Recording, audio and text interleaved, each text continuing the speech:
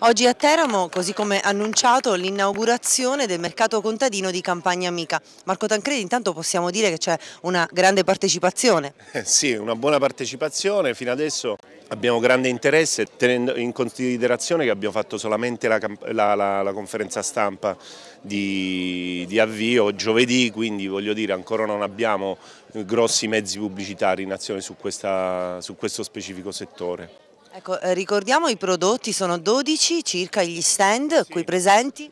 Sono 12 stand, abbiamo diverse categorie merceologiche messe per, per stessa categoria, i formaggi, la verdura, eh, i salumi, abbiamo due, due stand per la porchetta, eh, abbiamo i dolci da forno, abbiamo due stand di dolci da forno, speriamo di aggiungere nei prossimi, eh, nei prossimi, nelle prossime settimane altre categorie merceologiche per completare, per completare, il, eh, per completare il mercato assolviamo diverse esigenze con, con, questo nuovo mercato contadino che vorrei ricordare si aggiunge al mercato contadino del, del GAL di Porta Romana e soprattutto ha un'esigenza e una richiesta di riqualificazione e di rivitalizzazione di quest'area da parte dei commercianti ambulanti.